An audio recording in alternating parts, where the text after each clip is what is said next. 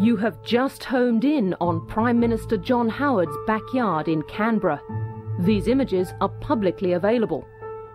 Four Corners could easily have chosen a celebrity's backyard, Nicole Kidman or David Wenham. And anyone in the space business knows it won't be long before these images move in further.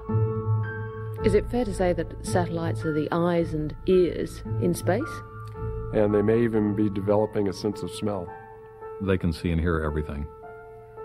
So, I mean. They really can read newspapers over people's uh, shoulders from space.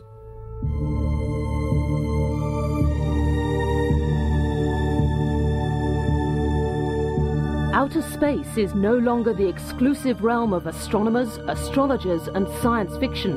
It's the new high ground from which our lives are now run. From space orbits 36,000 kilometers away, Communicators put people in contact with each other and missiles in contact with their targets.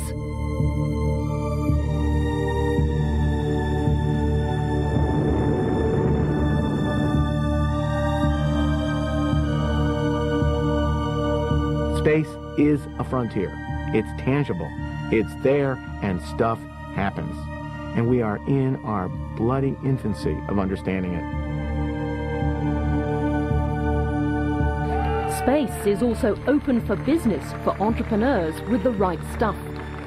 Three years from now, we'll be sending paying passengers into space. We'll be sending them, you know, our spaceships will be launching every day. Are there things that we should be doing, and in, in a sense, things that we should not be doing as we move forward into this frontier? Uh, these are questions, very difficult questions. Tonight on Four Corners, the power brokers of outer space operating in a new and almost lawless frontier.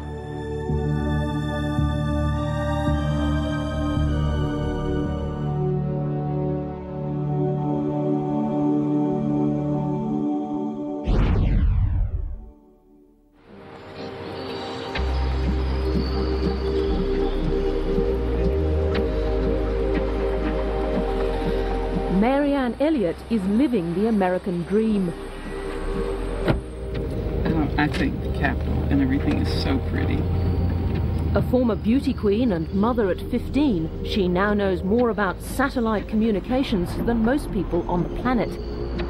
She is a celebrity in the mysterious space business and a powerful player in Washington circles. Our work with the U.S. government has fueled our growth. Just how much have you grown? Uh, over the last five years, uh, we've grown 1,061 percent. Elliott is a space broker.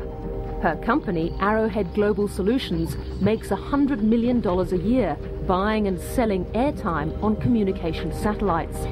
And in a post-September 11 world, with a new focus on national security, that business is highly competitive. Well, in the D.C. area, we're called the Beltway Bandits, and um, so this is the private sector. Yes, working for the federal government on mm-hmm. on national security. Yes, yes, absolutely. And it can be Lockheed Martin. Uh, Boeing has major presence here. Uh, Booz Allen and Hamilton, Bearing Point.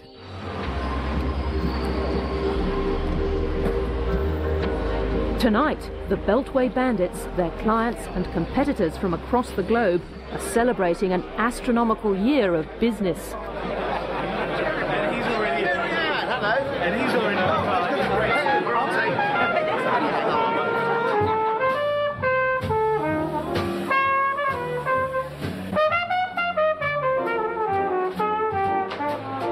Washington's Satellite Gala Night is a who's who of the space business.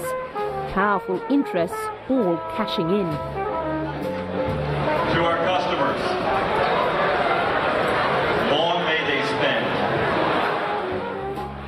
There are a few household names here, but space is now the realm of big multinationals run by a new generation of high flyers like Eric Béranger, the chief executive of space services for Europe's largest aerospace company.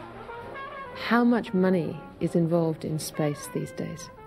Wow, you mean worldwide? More than 30 billion in, in, uh, in the US and in Europe, about a fifth of this.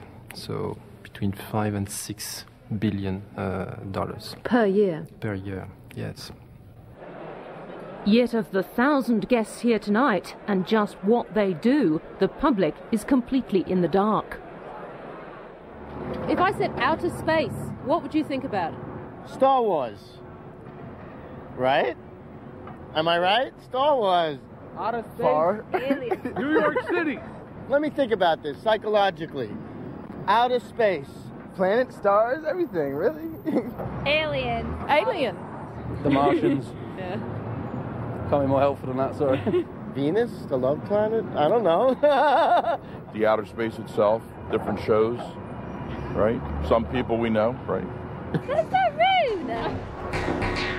In fact, our lives are run from space. Banking transactions, retail chains that are networked, trades on the stock market, TV, the internet, international phone calls, and GPS tracking. Space is no longer the final frontier, now it's the high frontier, in many cases beyond the reach of international laws and regulations.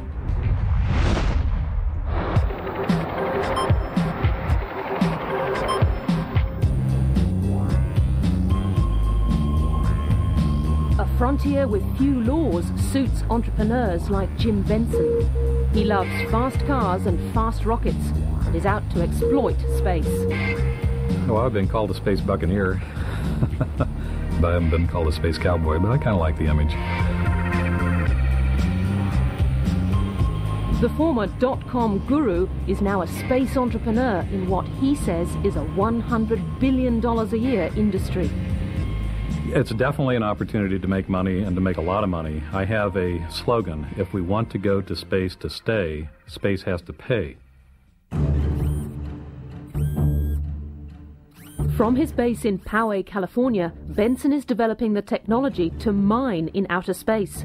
His targets? Some of the 100 million asteroids between Earth and Mars, and he's already designed a near Earth asteroid prospector. If we are going to explore and settle uh, space, the first thing we have to look at is the natural resources. We have to learn to live off the land like the early pioneers did, and the resources are right there, uh, ready and waiting for us. There are definitely asteroids, near Earth objects that cross the Earth's plane that are made 100% of iron nickel. They're as rich as the iron nickel in the Great Sudbury Mine of Canada, for example. That's great. The question is what are the economics of getting those things in a usable form back to Earth?